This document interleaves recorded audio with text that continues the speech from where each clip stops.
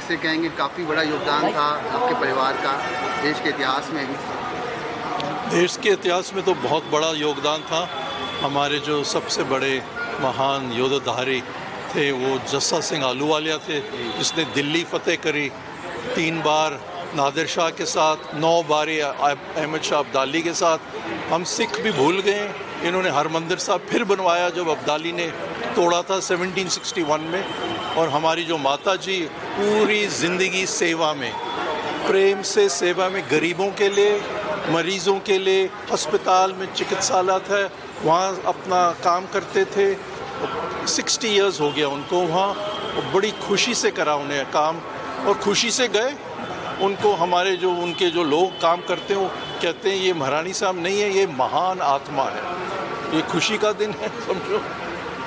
Sir आ, क्या कहेंगे आ, जिस तरीके से आ, एक बड़ा जिस आपने बताया कि इतिहास जुड़ा हुआ है और कपूरथला में भी काफ़ी ऐसे पुराने समय में कई ऐसे किस्से थे जो साथ में बिताए हैं।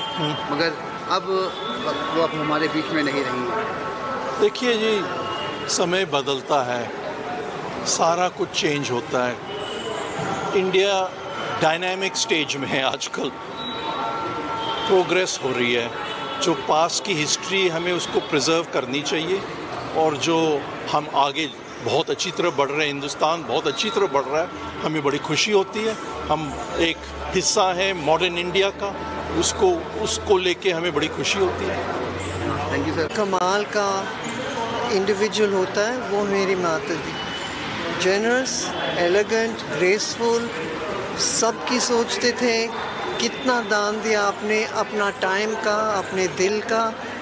कमाल के जने थे कब बिल्कुल कमाल के थे। और कोई उनमें ये कि मैं महारानी हूँ, या नीचे है, या ऊपर है, सबसे मिलते थे। बड़े प्रेम से, बड़े प्यार से, बहुत ह्यूमिलिटी थी उनमें। हमारे दिल में तो इतनी बड़ी होल है अब छेद है वो कुछ नहीं उसको भर सकेगा।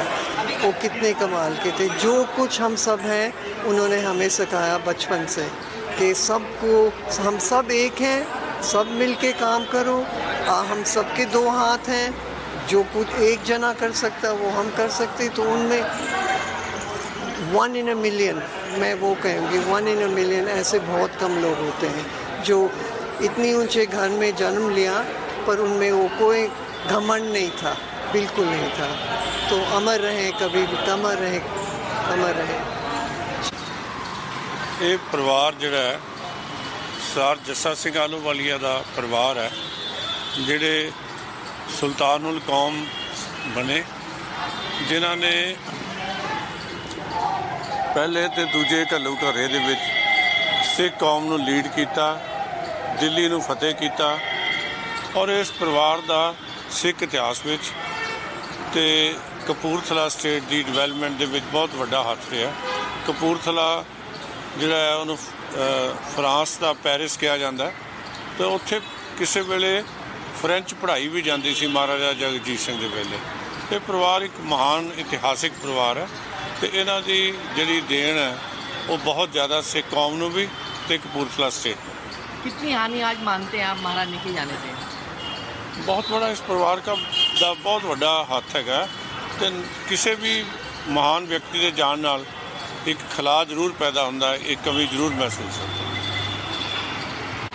आज के ज़माने में भी देखा जाए तो आज वो वही रियासती जीवन में रही हैं हम लोग जाते थे मिलते थे उनके घर में एंट्री हुआ करती थी एक जो प्रोटोकॉल था वो वही जो कपूरथला से चला आ रहा था सेम प्रोटोकॉल में वो उनका घर आज भी चलता है और जो उनकी बिटिया की भी बिटिया है इनका नाम है इला देवी। वो भी एक बड़ी प्यारी बच्ची है और जब वो इंग्लैंड से आई थी, इंडिया, कोविड टाइम में। तो उन्होंने अपने बच्चों को संस्कार इतने अच्छे दिए थे, गीता देवी जी ने, कि उन बच्चों का हिंदी बोलने का तरीका, कोशिश यही रहती थी कि जितने संस्कार एक दूसरे से हम ले सकते हैं, क्योंकि मेरे घर में थोड़ा हिंदी का ज़्यादा है तो उनको लगता था कि जितने संस्कार इला अर्न कर सकती है मेरी डॉटर से। और जो एक पारिवारिक माहौल रहता था और वो जितनी भी खुशी होती थी, दुख होते थे, उनका एक बहुत अच्छा पॉइंट रहते थे कि जब भी जैसे मेरे घर में कोई प्रॉब्लम हुई, किसी के भी, एक छोटा सा लेटर लिखा करती थी और उसी लेटर के ज़रिए वो अपने वर्ड्स को व्यक्त करती थी। ज़्यादा वो आती जाती नहीं थी, पर काफ़ी सोशल वर्किंग रही हैं वो लेडी और उन्होंने काफ़ी सोशल वर्क करे, उनके काफ़ी एनजीओ भी है और उनके मेडिकल अपना जमरूदपुर में भी है तो संबंधी जो है उसमें भी वो रेगुलर जाती थी, कितनी बार हम लोगों को बोला करती थी, तुम लोग कनेक्ट हो जाओ। जब हम सोचते थे, ठीक है, माँ के बराबर है, हो गए, नहीं हुए, ठीक है। पर आज उनकी कमी हमारे जीवन में बहुत खल रही है और मुझे लगता है कि जिस तरीके से उन्होंने एक परिवार को बाँध के रखा है, आगे भी उसी चीज़ों को सभी उनके चिन्हों पर चलेंगे तो बहुत अच्छा रहेगा। थैंक यू गरीब को बहुत मदद करती थी। गरीब को बहुत मदद करती थी और सब कुछ सबके साथ व्यवहार बहुत अच्छा था उनका। कितनी हानि मानते हैं आज मैडम का जाना? बहुत। कोई यादगार पल आपने उनके साथ? क्योंकि हाँ उनको कुत्ते बहुत पसंद थे। एनिमल्स पसंद थे सब बहुत दया वाले थे बहुत दया। जेंटल काइंड हेल्पफुल सबको हेल्पफुल भगत है जी? भगत जी की महाराज जी का जीवन किस तरीके का रहा है अगर बात करें तो? जीवन उनका बहुत अच्छा रहा जी। सर्वेंडों के प्रति वैसे हर प्रकार से उनका बहुत अच्छा योगदान रहा। हर चीज़ का लगाव था उन्हें हर चीज़ का लगाव था। पशु पक्षी इंसान जानवर सब बहुत ज़्यादा लगाव था। हर चीज़ में। दाव था जी उनका छोटे इंसान से लेकर बड़े इंसान तक उनका जो है अच्छा बर्ताव था और हम बहुत खुश हैं जो महाराज साहब जो है अच्छे बर्ताव से उनका नाम इतिहास में तो है ही उनका नाम लेकिन हमेशा रहेगा उनका नाम। हमारे दिलो दिमाग गाँव ज़िले नहीं हानि तो बहुत हुई। इतनी हानि हुई कि मतलब सभी मतलब परेशानी है सब कुछ उनका इतना अच्छा मतलब सब ठीक रहा। कोई यादगार पल आप लोगों के साथ? और हमारे लिए तो मतलब ठीक ठाक ही मतलब यादगार ही मतलब रहती अच्छे काम करे। यार यही है कि जिस प्रकार से उन्होंने हमें एक बच्चों की तरह रखा उन्होंने कभी हमें सरमैंड नहीं समझा अपने से बिल्कुल एकदम करीबी जुड़ा हुआ समझा तो उस हिसाब से वो हमारे यादगार ही यादगार है गरीबियों के लिए फरिश्ते थे वो। गरीबियों के लिए फरिश्ता थे। और बहुत अच्छे इंसान थे। ऐसे इंसान मिलना जुलना मुमकिन यही है सर